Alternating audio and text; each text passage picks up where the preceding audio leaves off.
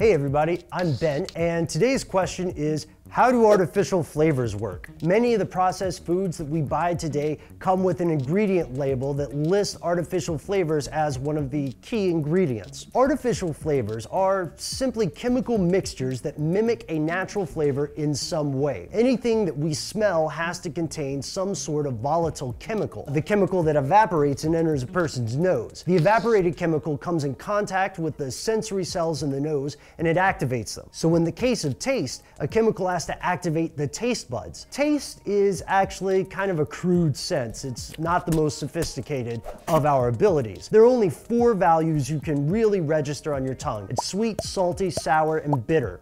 The nose, however, can sense thousands of different odors. Therefore, most artificial flavors have both a taste and a smell component. Any natural flavor is usually really complex. It's got dozens or even hundreds of chemicals interacting to create a unique taste slash smell.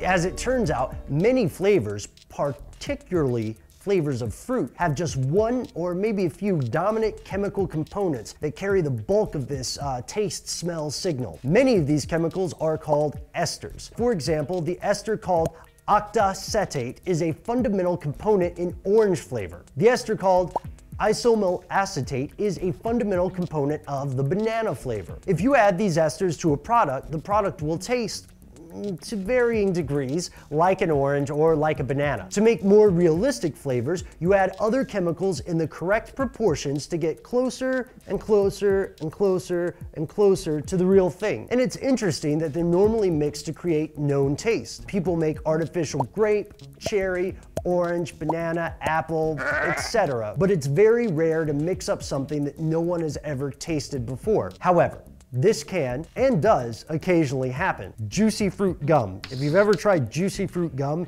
and you've wondered, what, what does that taste? It's made up.